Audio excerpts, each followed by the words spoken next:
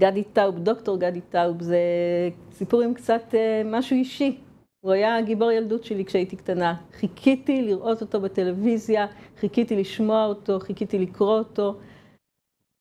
אני זוכרת את היום שהוא עשה לי עוקף בטוויטר, אני לא מרבה להתרגש מעוקבים בדרך כלל, ואני זוכרת ממש צביטה בלב, שאמרתי, הנה, הוא זיהה. ואז זכיתי לעשות איתו את הפודקאסט, בו קטשנו את אה, איילת שקד, ושם נרקם איזה קשר שנמשך עד היום. אה, בחרתי לראיין אותו גם באתר מידע כאיש השנה באחת השנים, מתוך הערכה גדולה מאוד. אני חושבת שהוא האיש שאני הכי מברכת על המעבר שלו משמאל לימין. חכם כל כך, יודע כל כך, רהוט כל כך, בכמה רמות מעל הרבה מאוד אנשים בעיניי, ואני מאושרת על כל רעיון שזכיתי לקיים איתו. הנה חלק מהדברים, בעיקר על הרעיון האישי, שבו הוא מתאר איך הוא עבר משמאל לימין, אבל גם על נושאים אחרים. אני חושבת שיש לו קול שצריך להקשיב לו מאוד וללמוד ממנו מאוד. צפייה נעימה. היסטוריון, פובליציסט, עיתונאי, תסריטאי, סופר, שההד שלו נשמע חזק מאוד, אבל צריך לזכור שלא תמיד הוא היה בצד הנוכחי. ואותי מסקרן מאוד... כמעט אמרת הצד הנכון. אמרתי נוכחי, אני נכון. לא אסגיר. מסקרן אותי מאוד, כי פעם נשמעת אחרת, וזה מעניין מאוד כי אתה קול מאוד בולט, בתקשורת, ברשתות, בעיתונות, ואנשים... קשקשן בלתי נלאה. אנשים מרימים גבה כי זוכרים אותך משמיע דעות אחרות. אתה יכול לספר על המעבר הזה, התהליך הזה? כן, קודם כל, גם כשהייתי במעמקי השמאל, תומך נלהב של אוסלו, כתבתי ספר שביקר בחריפות את השמאל הרדיקלי. אה, כולל אה, דברים שאנשים הרימו גבם, מה אתה, אתה בא עם הפמיניסטיות, השתגעת, ומה, כל מיני אה, קצוות אחרים, הפוסט-ציונים, החדירה של הפרוגרסיביים לחינוך, לאקדמיה, להיסטוריה, למקומות אחרים. אז לא הייתי אף פעם בשמאל, תמיד הייתי ציוני. האמנתי בשתי מדינות, כי חשבתי שהאמנתי בהיגיון החלוקה, אני לא הראשון ולא האחרון. אה, ועדת אה, אונסקופ היה לה היגיון מאוד חד וברור על פי אה, וקונסיסטנטי מבחינה ערכית, שיש פה שני עמים ושניהם רוצים עצמאות מדינית. ואם אנחנו מאמינים בערך שהוא זכותם של כל העמים להגדרה עצמית, אז זאת המסקנה, כך חשבתי. ואז לאט לאט התברר שנגיד את זה בפשטות, אין פרטנר, או יותר באריכות, המטרה של התנועה הלאומית הפלסטינית, ככל שהיא תנועה לאומית, היא השמדת ישראל, לא עצמאות פוליטית. אנשים מהשמאל כתבו את זה. יש ספר נפלא של אה, עינת וילף, ממפלגת העבודה, כן. הייתה חברת כנסת, ועדי שוורץ, דוקטור עדי שוורץ, דוקטור עדי שוורץ ודוקטור עינת וילף, אה, כתבו ביחד ספר, עדי אז עוד לא היה דוקטור, עכשיו הוא כן, שנקרא מלחמת זכות השיבה. שבו אומר שהערך העליון של הפלסטינים הוא לא, הוא לא עצמאות מדינית, הוא שיבה לכפר שמהם באו לפי טענתם אבותיהם שעזבו אותו ב-1948, מי בגירוש ומי בעזיבה מרצון. אז מי בגירוש ומי בבריכה, צריך להגיד. אז אני, אני האמנתי ש, שהתנועה הלאומית הפלסטינית בסופו של דבר תתעשת ותרצה מה שרוצה עם נורמלי, שזה, כל אחד לוקח מהדוגמה של עצמו, שזה כמונו תרצה עצמאות מדינית. זה מה שהאמנתי. ואז uh, התפוצצו אוטובוסים. ועדיין, את יודעת, המוח האנושי הוא בנוי ככה שכשמתווסף נתון שלא מתאים לתיאוריה שהיא במרכז אמונותיך, אתה מנסה כאילו לעשות לו מקום בתוך התיאוריה, ואז התחילו קורבנות השלום וכל הדברים האלה. ואז באה בא שנת 2000. אני גרתי בתל אביב כשהתפוצצו האוטובוסים, אז זה היה, אוקיי. אני עדיין גר בתל אביב, אז זה היה תל אביב היא קטנה הרי, אם לא סופרים את הפרווה, אנחנו הממש תל אביב כאילו. אז אוטובוס שמתפוצץ בדיזינגוף סנטר, קו 5, בכיכר דיזינגוף סליחה, אני שמעתי את זה בבית שלי. ואז את כל הסירנות, ובתקופה הזאת ידענו, אנשים שוכחים את זה, בום, ואחריו רבע שעה סירנות, זה עוד פיגוע. אז אתה שומע את הבום, אתה ישר פותח את החדשות, ואתה מחכה לראות מה זה היה. אז, ואז אה, אהוד ברק הסיק את המסקנה שנראתה לי נכונה, שאומרת, רגע, אוסלו זה לא... זה לא, מש... מה שאמרו לנו שיהיו צעדים בוני אמון ובהדרגה ייבנה אמון ונגיע לסוגיות הליבה, הדבר הזה לא, לא קרה, קרה ההפך, ככל שאנחנו מתקדמים, האמון נשחק. האוטובוסים המתפוצצים, החשדות בערפאת, לא ידעתי אז שהסתירו איתנו את האמת, התקשורת. פחות או יותר קשרה קשר להסתיר מאיתנו את נאומי ערפאת, שכבר ב-94 קרא לג'יהאד נגד היהודים, בערבית כמובן. ואז אהוד ברק הסיק את המסקנה שאם זה לא בו, תהליך בונה אמון, אז צריך לחתוך את זה באבחת חרב, ואיפה חותכים? באמצע נחתוך את הקשר הגורדי. והציע הצעה מרחיקת לכת שתמכתי בה, תמכתי בה בהיותי בשמאל, שאומרת, אה, הנה, נלך עד הסוף. ואז ערפאת אמר לא. נכון. אז אמרתי, רגע, רגע, רגע, כל ההנחות פה לא נכונות פשוט. כל העסק הזה לא עובד. בעצם, הם לא רוצים מדינה, הם רוצים להשמיד אותנו, אז לא ניתן להם.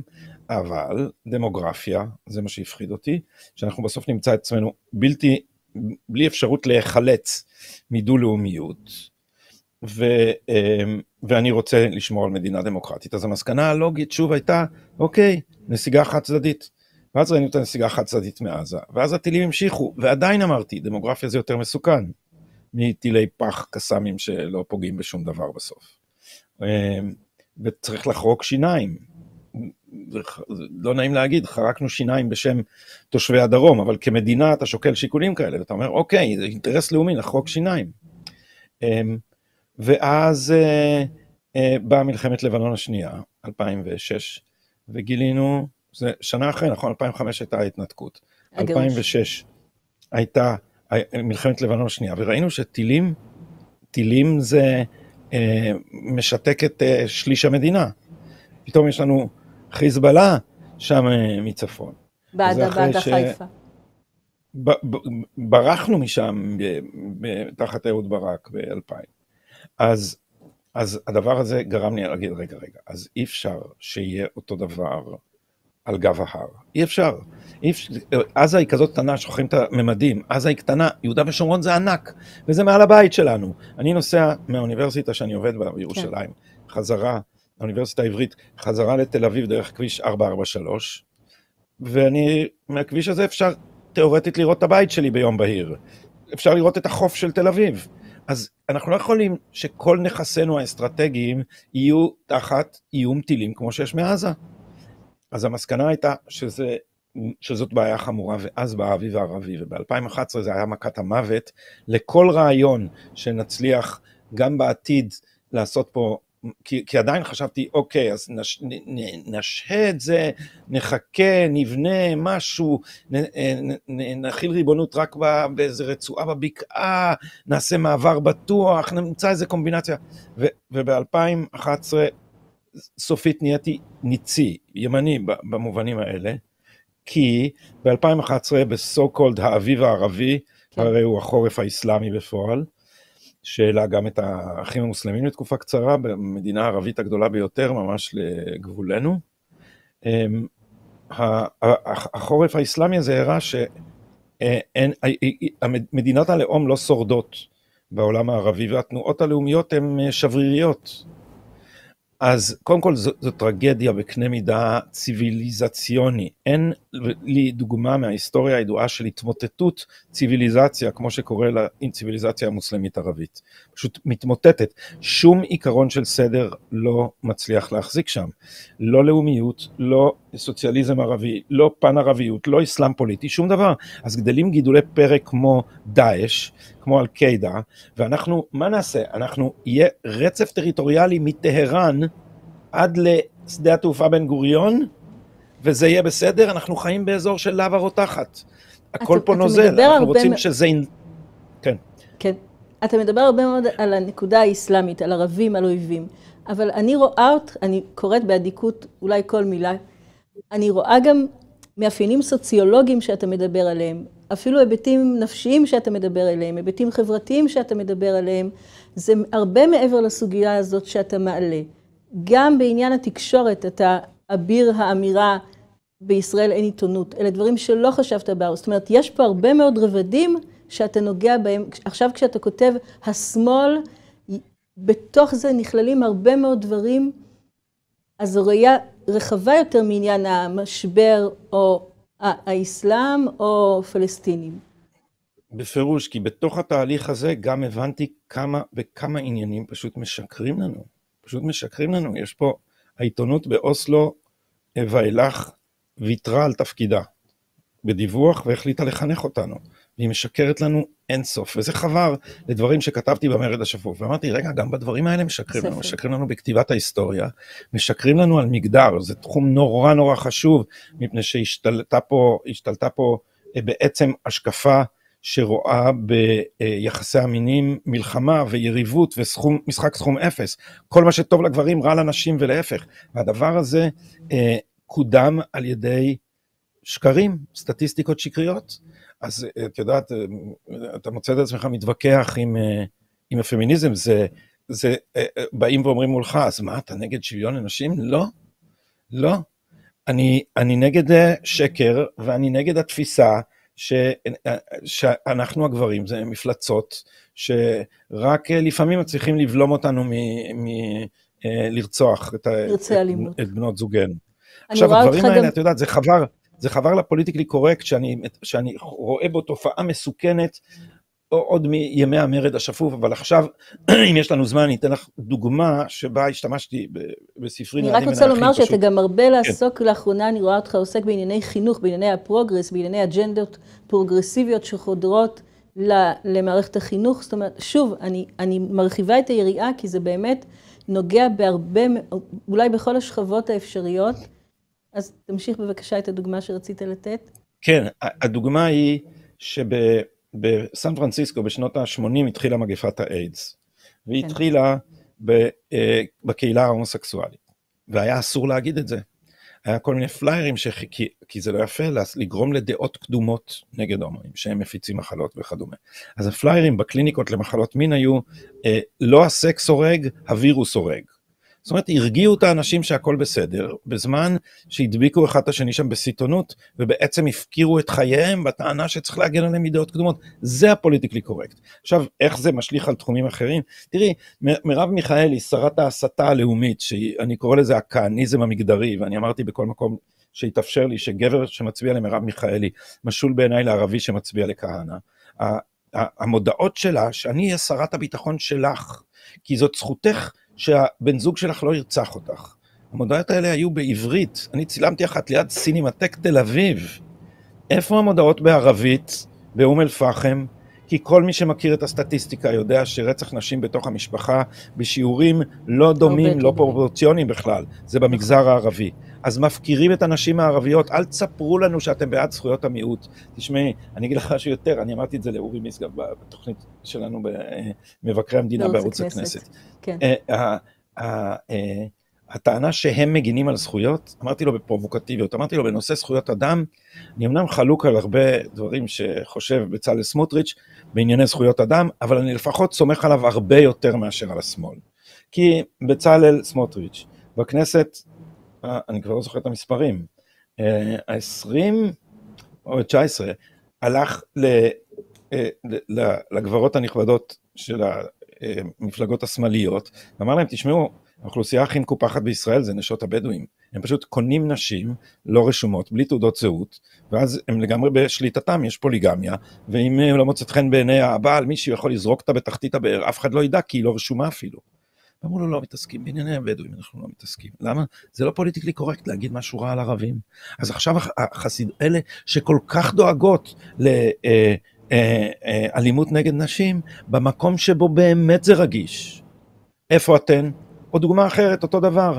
הממשלה הזאת מקשקשת לנו, הממשלה היוצאת, סליחה, זאת משהו, הממשלה היוצאת, קשקשה לנו על זכויות להט"בים. יאיר לפיד פעם המציא סיפור על איך אבא שלו הוביל את מצעד הגאווה במקרה, שלא היה ולא נברא כמובן הסיפור הזה. הוא הלך לקנות נקניקיות ואז המצעד עבר והוא נקלע לזה והוא נהיה גיבור. שטויות שקרים של האיש החלול הזה. אז אתם מדברים על זכויות להט"בים, אתם בעצם מדברים על זכויות להט"בים בתל אביב. כי אם אתם נותנים את התקציבים למגזר הערבי, לתנועה האסלאמית, אם אתם נותנים לפונדמנטליסטים את האחריות על חינוך במגזר הערבי, מה אתם חושבים שהם יעשו עם הכסף הזה? אה, סובלנות כלפי השונה מינית? זה, או אה, סדנאות להעצמת נשים? מה אתם חושבים שהם יעשו עם הכסף הזה? אז תפסיקו להתהדר בנוצות שאין לכם. כמו כמעט בכל דבר, הימין הוא יותר מוסרי, הוא יותר אמפתי, וגם בסופו של דבר, יש לי הרבה ביקורות על הרבה פלגים בימין, גם בסופו של דבר, כשמסתכלים על התמונה הגדולה, זכויות אדם, זכויות אדם לא מטופחות יותר בשמאל, וזה לא נכון רק על ישראל, אלא על כל העולם.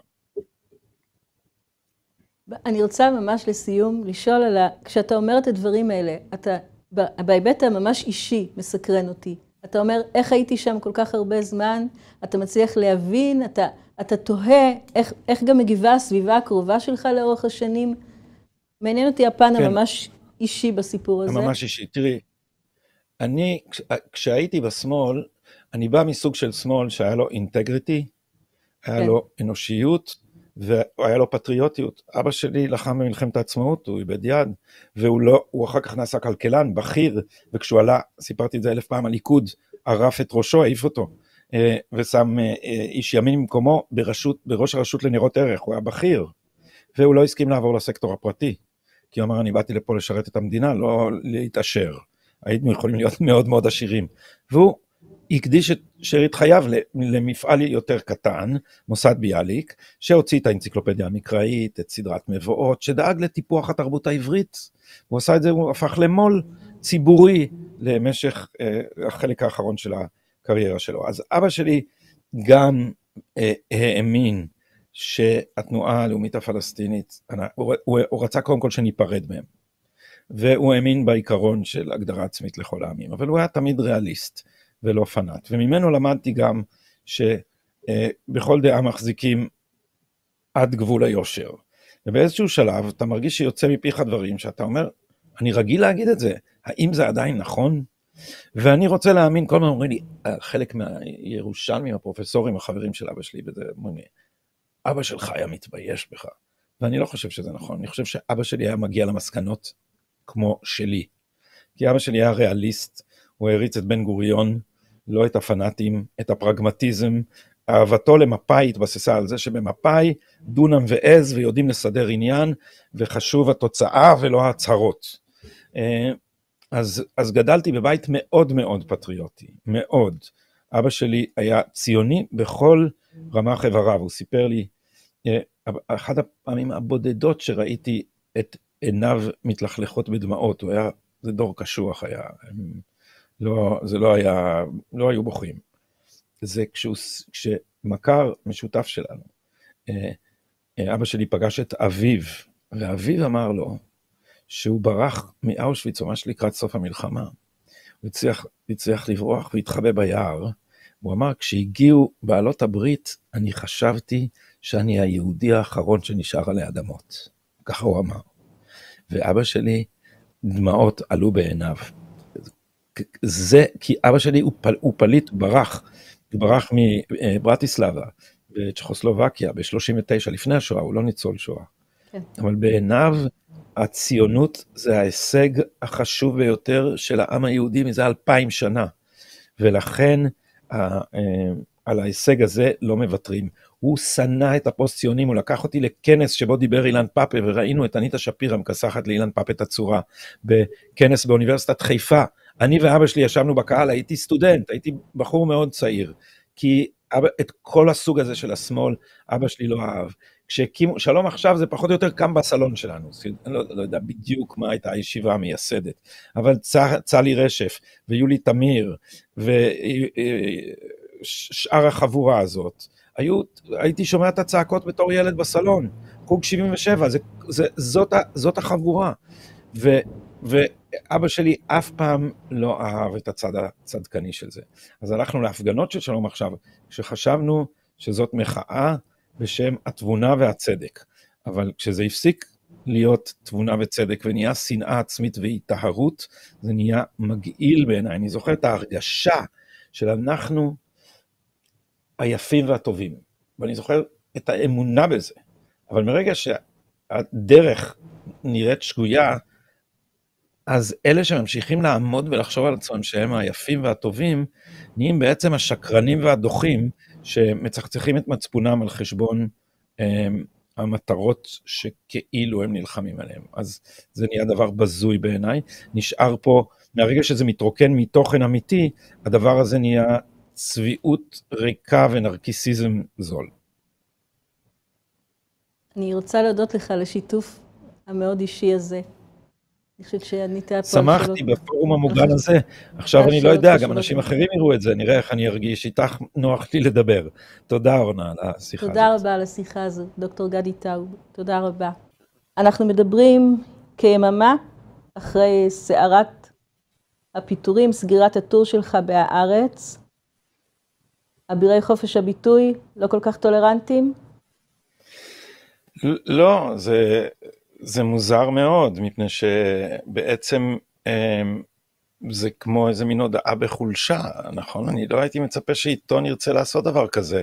אה, יש לכם אה, כותב, הוא בדעה שונה מכם, ובמקום אה, לענות לו, עם מה שהייתם עושים אם אתם בטוחים בצדקתכם, אז אתם מדירים אותו. אז צריך, צריך לחשוב למה, וההסבר שלי הוא שבעיתון הארץ, עמל על אה, הונאה מסיבית של הציבור. הקים חומת שקר שבמסגרתה דפיו הגדולים יסתירו את המציאות, והם לא יכולים להרשות לעצמם אה, שמישהו יעשה חור במסך הזה ויראו את, ה, את המציאות. צריך לומר, לאורך תקופה לא קצרה, אתה כותב שם, יש אנשי ימין שיאמרו, למה מלכתחילה לכתוב במקום כזה? כל כך נוטה לשמאל, קריקטורות דרשטירמריות, לעיתים של בידרמן, לא מקום שמיועד לימנים, ואולי לא צריך לחנך בכלל, אלא פשוט להדיר את הרגליים של אנשי ימין משם. הבחירה שלך כן לכתוב שם נבעה ממה בעצם? מהתחושה שאני יכול אולי להשפיע בשוליים על אלה שהם לא לגמרי מורעלים. זאת אומרת שיש איזה קהל, אני אה, ראיתי לנגד עיניי אה, ירושלמים מהסוג של ההורים שלי, למרות שההורים שלי לא בדיוק השטנץ הזה, אבל החברים שלהם, ההורים שלי, אני רוצה לחשוב אם היו עכשיו חיים, היו ימנים כבר, כמו ש... היו עוברים את התהליך שאני עברתי, אבל יש להם הרבה חברים שלא, שהם אה, אנשים אינטליגנטים, ציונים, באמת חרדים לגורלה של מדינת ישראל, יש להם השקפה עיונית, יש להם השקפה אה, חילונית, ואפשר לשכנע אותם בתנאי שהטיעונים הם טיעונים שמבינים שהם לטובת המפעל הציוני. אז את זה חשבתי שאפשר לעשות, למרות שעיתון הארץ הוא נגד המפעל הציוני, ולמרות שהוא לא מודה בזה, זה מאוד מאוד בולט שהוא עובד בזה. אז תראי, זה, זה עיתון אה, אנטישמי. אה, זה עיתון שמספק אה, שמן למדורות אנטישמיות בכל העולם, אה, אתרים ניאו-נאציים מצטטים את הארץ, זה המקור החביב עליהם, זה לא נעים לעבוד שם, אה, אבל חשבתי שאל הקהל הזה אני יכול להגיע עם משהו קצת אחר. אני לא אגיד שלא הוטרדתי, והיו לי חברים שאמרו לי, אתה סתם עלה תאנה, למה אתה עוזר לזה? הספינה הזאת צריכה לטבוע, למה אתה עוזר לה לצוף? נסביר רגע את המושג הזה של עלה תאנה, כי יכול להיות שאתה שימשת איזשהו כלי שלהם לומר, תראו כמה אנחנו נאורים, כמה אנחנו טולרנטים. הנה, דוקטור גדי טאוב כותב אצלנו, מה זה אומר עלינו, שאנחנו פתוחים ונותנים למגוון של דעות להיות מושמעות? כן, זה, זה אני חושב היה התפקיד שלי שם, אבל עכשיו הגיע רגע קריטי, והרגע הזה הוא רגע שבו האליטה בהיסטריה, משום שהיא לא מצילה את הדמוקרטיה, היא מנסה להציל את עצמה מפני הדמוקרטיה, היא מנסה להציל את שלטונה, היא הרי מושלת בנו באמצעות אה, נציגים שהיא ממנה ואנחנו לא בוחרים, באמצעות 15 שופטים שחמסו את הריבונות בישראל והמציאו שיטת משטר שפרופסור שלמה אבינרי, לא אני, איש שמאל מובהק מתנועת העבודה, כבר קרא לו בגצוקרטיה. אין דבר כזה בשום מקום אחר בעולם, אנחנו חיים במשטר לא שפוי, שבו יש בית משפט עליון שאין שום גבול לכוחו והוא לא כפוף לשום נורמה, והוא יכול לשנות את מה שהוא אמר לנו שזה החוקה שלנו. זאת אומרת, חוקי היסוד שמכוחם הוא פועל, הוא חושב שהוא יכול גם אותם לשנות. אז אנחנו חיים ב, ב, במשטר מאוד מוזר, כשאני מתווכח על הדברים האלה, אומרים לי, אבל מה בית המשפט עשה? ובכן, בית המשפט עשה המון, הוא חירב את מדיניות ההגירה של ישראל, הוא הכניס לכנסת תומכי טרור, הוא החריב את שוק הדיור, הוא מקשה על הלוחמה בטרור, הוא אה, מאפשר פגיעה מסיבית ביותר בזכויות האדם שלנו במסגרת החוק הפלילי, בית המשפט הזה הוא... שלטון עריץ שמספר לכם שהוא מושל בשם זכויות האדם והמיעוט שעליהם הוא לא מגן, או על מיעוטים הוא מגן באופן סלקטיבי, בעיקר על מיעוטים שבאמצעותם אפשר לנגח את הלאומיות היהודית. אז אנחנו חיים מתחת למשטר ביזארי שמייצג את העמדות שהארץ הוא השופר שלהם. אז הם לא רק שהם לא מגינים על הדמוקרטיה, הם אה, מגינים על השלטון הזה מפני הדמוקרטיה, אבל את ההונאה הזאת צריך להסתיר, ומכיוון שאני הצבעתי עליה, אז המאמר שלי נפסל, ואחר כך כנראה נמלכו בדעתם, ונפסלתי גם אני, אני יחד עם המאמר. קראתי את המאמר באדיקות, אבל קראתי גם את כל המאמרים הקודמים. זו הרי לא פעם ראשונה ולא שנייה, גם לא עשירית, שאתה מצביע על דברים שנוגדים את רוח העיתון, נקרא לזה כך. מה קרה הפעם שג... שזהו, כאן זה מסתיים, הקדיש את הסאה כמו שאומרים, הם לא יכולים יותר, הם מנמקים דמוקרטיה מתגוננת, אי אפשר לתת רוח גבית לרפורמה, אבל גם קודם הקריאות שלך היו הרי אחרות בנוף. אתה יכול לנסות כן, אבל... לך לחשוב למה? כן, מפני שעכשיו זה ממש קץ שלטונם. עכשיו הם ממש אומרים זה הקרב המכריע, mm. אה, אבל ננסח זאת כך, זה הקרב המכריע בין ה-deep state לדמוקרטיק state. אז זה הקרב שבו הם עלולים לאבד את שלטונם ואין להם, אין להם אוויר uh, ספייר, אין להם uh, מספיק uh, דלק, אז הם לא יכולים שאני אפריע להם, אבל הם עשו מקח טעות לדעתי, מפני שפרסום המאמר שלי היה חושף את השקר במידה פחותה מאשר פיטוריי שעכשיו הביאו את כולם לשאול, רגע, למה? למה? מה, מה הבעיה? מה קרה? אז מה שקרה זה שהם באמת בהיסטריה. כשהם שולחים לך את אותו מכתב, הם הרי יודעים את תפוצ... רוחב התפוצה, רוחב היריעה של התפוצה שלך, היה ברור שאתה מוציא את זה מיד לאור, לא כרכילות, אלא הגיוני לחלוטין שאדם יעשה את זה ויקבל הד כל כך גדול, ובאמת בעייתי, כמו שאתה אומר, באמת אפילו יותר מהמאמר עצמו. הופתעת מהדרך, מהפתאומיות, מה... טכניקה אפילו שבה זה בלי שיחה של ממש, בלי הסברים ראויים יותר. מה הרגשת בעצם? קודם כל הרגשתי, שמחתי שהם אמרו את האמת, והאמת היא שאנחנו לא מוכנים לסבול את הדעות שלך. לא אמרו שום דבר, אה, לא, לא תירוצים ולא אה, מרחו אותי, יכלו לעשות את זה הרבה יותר בשקט. אז, אז שמחתי, ש... מפני שאז זה מאוד ברור שהמגמה הבולשביקית היא שלא מתווכחים עם טיעונים אלא מתעלמים מהם או סותמים אותם או מסתירים אותם אמ, ו, ולפחות זה יצא אמ, מאוד ברור אז עכשיו הם מגינים על הדמוקרטיה על ידי זה שאסור להביע דעות אחרות מאיך שהם מגינים על הדמוקרטיה זה לא כל כך דמוקרטי. היה לך איזשהו מענה כלפי עמוס שוקן העורך, או מישהו מטעם הארץ בכלל, או שההתבטאות שלך היא רק כלפי הציבור בכלל? אה, עמוס שוקן אה, עוד אה, כותב עליי כל מיני דברים בטוויטר אחרי זה. אני לא כתבתי להם תשובה חזרה למכתב. Okay. אוקיי. אני עניתי לאיזה ציוץ של עמוס שוקן ששם אותי יחד עם ארז תדמור ויריב לוין, וטען שאנחנו כולנו אורבניסטים במובן של אוהדי ויקטור אורבן. אז זו האשמה אה. נוספת, אני מבינה. עכשיו אתה גם כן. עובר תהליך הונגריזציה ביניהם. כן. אה, אתה רוצה לשפוך אור רגע על העניין הזה? אתה עוסק... אני מוכן, זה, זה נורא מצחיק, כי הם, הם פרסמו איזה... רק נגיד, יש מכון פרס... מחקר שמקורב לראש ממשלת הונגריה. מה כן, חלקך בעניין? ש... חלקי בעניין הוא שאני הוזמנתי שם לתת הרצאות לסטודנטים. כאן okay. אוקיי. כתב, הם, הם, הם, בהארץ אור קשתי כתב אגב בלי לבקש ממני תגובה כי זה מאמר התנגשות נראה לי זאת אומרת או שזה טעות אבל לא, נראה לי שזה פשוט הם הכינו את הקרקע לתירוץ לפטר אותי ו, והוא כתב שם שקיבלתי מינוי ו, okay. וזה יוצר את הרושם שאני מקבל כסף מממשלת הונגריה בשביל לעשות תעמולה לטובת ויקטור אורבן וזה נורא הצחיק אותי כי לא קיבלתי אפילו אשל. זאת אומרת, לא קיבלתי כלום. אה, נתנו לי מלון, והחדר במלון היה כל כך קטן, שבחלק מהזמן שכרתי על חשבוני מלון אחר, כדי שיהיה לי איפה לשים את המחשב ולכתוב. אני יכולה להעיד אם צריך שרציתי לראיין אותך במהלך השהייה שלך שם, והבנו שזה לא מתאים אפילו, אני חושבת שזה היה חלק מהשיקול. התנאים לא היו מספיק כן. טובים כן. בשביל, כן. בשביל לקיים בהם רעיון כזה. אמ, אבל למדתי המון על הונגריה ונסעתי בשביל זה, זאת אומרת, אני, הדיל האמיתי היה שאני אתן הרצאות בשבילם, של סטודנטים שלהם, מה שאני שמח לעשות, אגב, סטודנטים לא משנה לי מה השקפתם, הם לא ניאו-נאצים או משהו, לא, זה, אני לא באתי לחנך סטודנטים של אחרים, הם רוצים לשמוע את דעתי, אני שמח להביע אותה. אמ, ובתמורה יהיה לי שהות בבודפשט ויהיה לי הזדמנות לדבר עם אה, מלומדי משפט בעיקר, אבל גם אחרים אינטלקטואלים, אה, מרצים, אה, על, על מה בעצם קרה בהונגריה, ו... כי הייתה לי תחושה שהשמאל משקר כשהוא אה, מפחיד אותנו עם הונגריה, ואת יושבת, את בטח תהיי בשוק.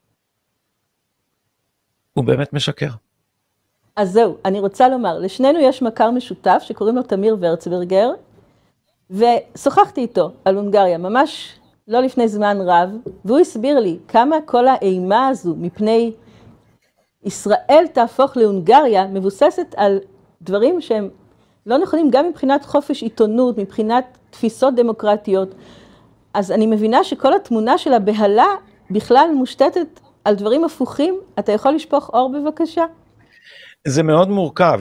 קודם כל אני אגיד, יש דברים שאני מסתייג מהם מאוד בממשל okay. של אורבן, אה, אבל מה, ש, מה, שח, מה שחשוב בו ומעניין, ולא צריך, לא צריך להכריע אם כל מה שהוא עשה בדיוק זה מה שמתאים לנו, אבל, אבל ויקטור אורבן הבין בגדול, ולכן הם כל כך שונאים אותו. הוא הבין שאם הימין לא יתחרה על מוקדי הכוח החוץ אלקטורליים, מערכת המשפט, העיתונות, האקדמיה, האומנות, אז הישגיו אה, יהיו כתובים על קרח וישתפו אה, בזרם הזמן. ולכן הוא דאג גם לדברים האלה, בכל מיני אופנים, לעיתים מאוד באגרסיביות, לעיתים ב- בשכל. MCC, מכון המחקר הזה, הוא לא בדיוק מכון מחקר, זה, זה מוסד גג אקדמי לטיפוח המצוינות, שמטפח מילדי בית ספר ועד אה, סטודנטים, תומך בהם, מספק להם שירותים מקבילים וקצת לימודים. ממש זה הרבה, רוב האנשים האלה לומדים באוניברסיטאות אחרות או בתיכונים מחוץ ל-MCC, ו-MCC מספק להם מסגרת ולימודי השלמה באוריינטציה שמרנית, וזה דבר מצוין בעיניי. ומכיוון שהאקדמיה, גם בהונגריה, כמו פה, היא מאוד מאוד שמאלית, והיא מאוד מאוד פוליטית, זה נראה לי מגוחך שאנחנו נפחד כל פעם שהשמאל צועק פוליטיזציה אחרי שהוא בעצמו עשה פוליטיזציה. האם לא הייתה פוליטיזציה של האקדמיה לכיוון שמאל אז אנחנו לא היינו צריכים מוסדות אלטרנטיביים. יש כל מיני דרכים לעשות את זה, אפשר לעשות את זה כמו בארצות הברית במכוני מחקר, לא מאוד מצליח, אפשר לעשות את זה בחסות המדינה, כמו אצל אה, אורבן, גם לזה יש חסרונות, אני לא יודע אם המודל הזה מתאים לכאן, אבל שם רתמו ל-MCC אה, לא, לא רוצה להיכנס לפרטים על איך עשו את זה, אבל נתנו להם מניות בחברות ציבוריות כדי שיהיה להם מקור פרנסה אה, מתמיד והם יוכלו לא לדאוג דאגות כלכליות ולמלא את שליחותם. אז במסגרת המקום הזה... אולי הפחד האמיתי הוא שמה שיקרה בישראל, כמו בהונגריה, זה לא הרס דמוקרטיה וכל השקרים האחרים. אלא זה דמוקרטיה. כמו שאתה אומר, אלא הצלחה ש, שתתרחש כאן, בדומה לדברים שתפסו שם, ואז הם מבינים כמה האיום גדול ובאמת ממשי ויכול להתקיים?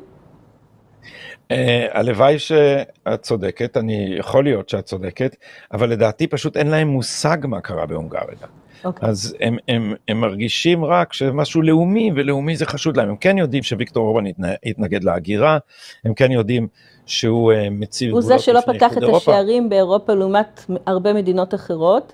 אבל זה גם מה שהבטיח התנהלות אחרת בטוחה הרבה יותר שם.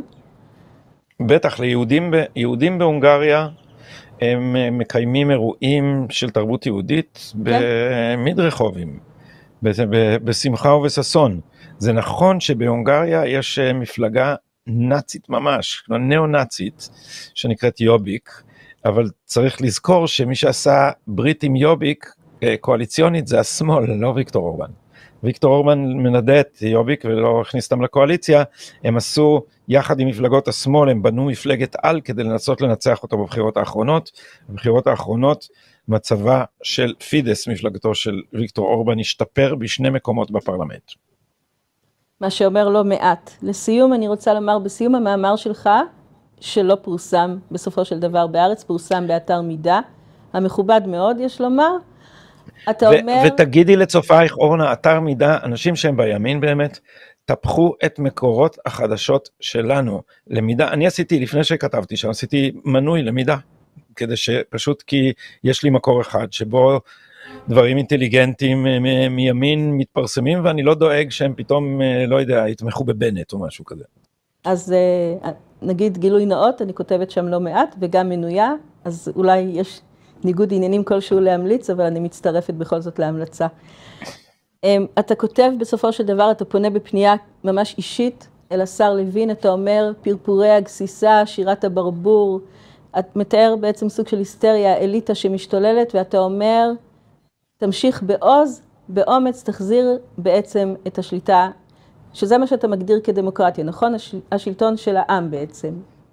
כן, ריבונות האזרחים, זה לא רק אני מגדיר, זה הגדרה כן. במדעי המדינה, אז אני יכול לבשר לך שממש עכשיו חזרתי מהקלטת שומר סף 74 עם uh, השר לוין, okay. אוקיי. מצאנו אותו במצב רוח במיוחד טוב, הוא צחק, כשאמרנו לו, תגיד, אבל כל הלחצים האלה נגד הרפורמה זה בסוף לא התקבל, הוא אמר, אתם פשוט לא יודעים מאיפה באים הלחצים, הוא פוליטיקאי, הוא אמר, הלחצים מהציבור. הם לא להתקפל ולהמשיך, אמר בש, בשבועות הראשונים, כל, הפציצו אותו בכל מקום שהוא הלך, הוא אמר. אמר שהם תכננו, הם היו מתכננים, הם עושים רווח של רבע שעה בלוז בין אה, ישיבה במשרד למליאה, כי במסדרון שהוא הלך בו, הוא היה צריך 15 דקות להגיע מהמשרד שלו למליאה מרוב אנשים שעיכבו אותו. נאמר שזה ככה בכל מקום. וזה הלחצים שפוליטיקאים מרגישים מהציבור, הם כאילו לא, הלחצים הם לא מנדב ואייל, הלחצים הם מהמצביעים. ו- אז ו- אותן דאגות שהימין משמיע שמא הוא יישבר מתוך הלחצים, ממאיימי לא השייטים, הטייסים, המילואימניק, ההייטקיסטים, וכמו שאני נוטה לומר, מגדלי הירבועים, אתה אומר שהוא איתן לממש הוא איתן ובמצב רוח טוב, זה היה, תשמעי, שוחחנו שעה ועשרים דקות, וממ... ולא ידעתי שכאילו אה, יריב לוין נוטה לכל כך הרבה דחקות, אבל היה, היה שיחה מעניינת, רצינית, מעמיקה ועם הומור.